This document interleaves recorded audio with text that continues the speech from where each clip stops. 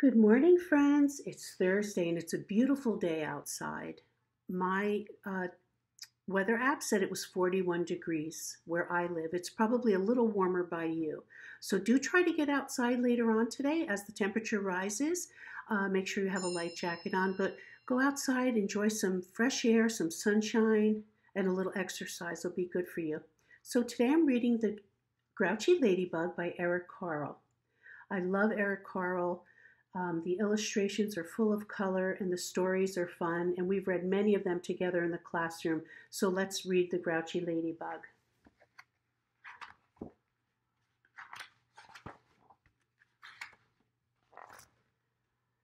It was night, and some fireflies danced around the moon. At five o'clock in the morning, the sun came up. A friendly ladybug flew in from the left. It saw a leaf with many aphids on it Aphids are little tiny bugs that like to eat the crops or the vegetation or vegetables that farmers and gardeners like to grow for us to eat. So the aphids, um, they're sort of like a bug that ruins things, so that's why the ladybugs like to eat them to help the farmers and gardeners out. And decided to have them for breakfast. But just then a grouchy ladybug flew in from the right. It too saw the aphids and wanted them for breakfast.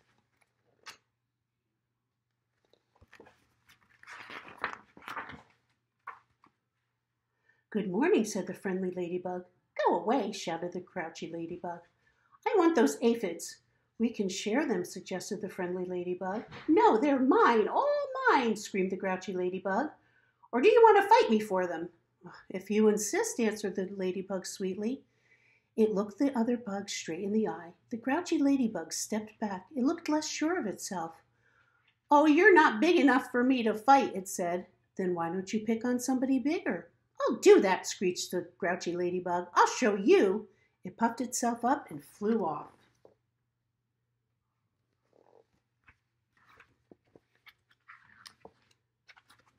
At six o'clock, it met a yellow jacket.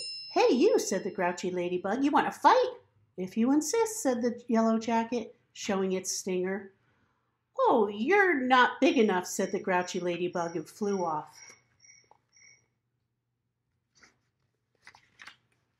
At seven o'clock, it met a stag beetle. Hey, you, said the grouchy ladybug, you want to fight? If you insist, said the stag beetle, opening its jaws. Oh, you're not big enough, said the grouchy ladybug, and flew off.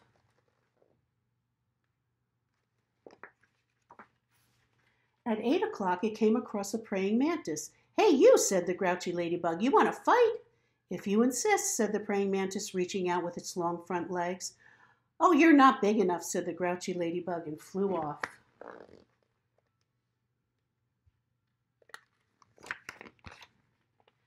At nine o'clock, it almost flew into a sparrow. Hey, you, said the grouchy ladybug, you want to fight? If you insist, said the sparrow, opening its sharp beak. Oh, you're not big enough, said the grouchy ladybug and flew off. Do you see how the um, animals and what have you are getting bigger as we're reading.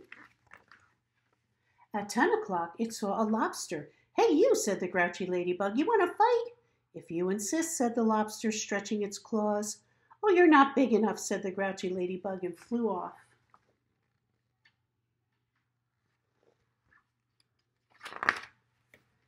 At 11 o'clock, it bumped into a skunk. Hey, you, said the grouchy ladybug, you want to fight? Hmm. If you insist, said the skunk, starting to lift its tail. Oh, you're not big enough, said the grouchy ladybug, and flew off.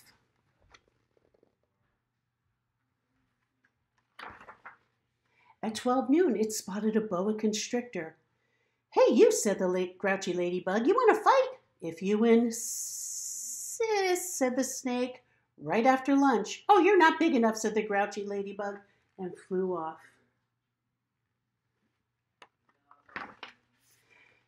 At one o'clock, it happened upon a hyena. Hey, you, said the grouchy ladybug, you want to fight?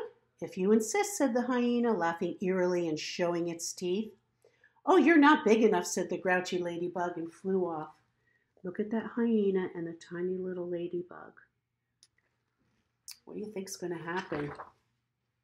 At two o'clock, it met a gorilla. Hey, you, said the grouchy ladybug, you want to fight? If you insist, said the gorilla, beating its chest. Oh, you're not big enough, said the grouchy ladybug and flew off. Things are getting bigger. At three o'clock, it ran into a rhinoceros. Hey, you, said the grouchy ladybug, you want to fight? If you insist, said the rhinoceros, lowering its horn. Oh, you're not big enough, said the grouchy ladybug and flew off.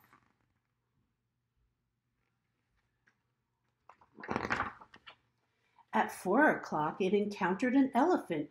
Hey, you, said the grouchy ladybug, you want to fight? If you insist, said the elephant, raising its trunk and showing its big tusks. Oh, you're not big enough, said the grouchy ladybug and flew off.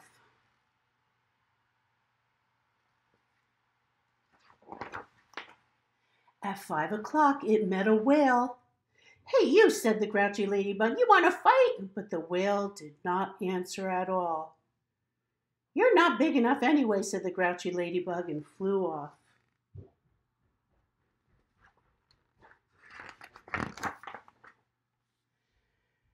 At 5.15, the grouchy ladybug said to one of the whale's flippers, Hey, you, you want to fight? But it got no answer, so it flew on.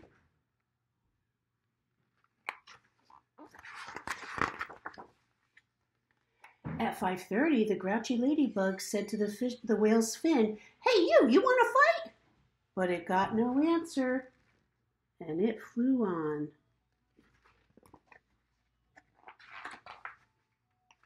At quarter to six, the grouchy ladybug said to the whale's tail, Hey, you want to fight? And the whale's tail gave the grouchy ladybug such a slap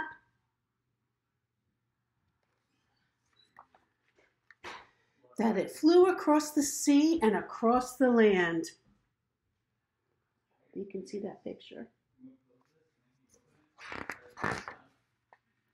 At six o'clock, the grouchy ladybug arrived right back where she had started from. Thank you! Ah, you're here again, said the friendly ladybug. You must be hungry. There are still some aphids left. You can have them for dinner. Oh, thank you, said the wet, tired, and hungry ladybug. You're welcome.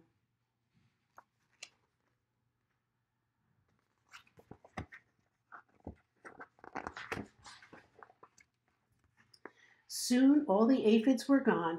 Thank you, said the leaf. You're welcome, said both ladybugs, and they went to sleep. The fireflies, who had been sleeping all day, came out to dance under the moon. The end. I hope you enjoyed that story, friends. There are more to come. Have a wonderful day. Make sure you get outside and get some fresh air.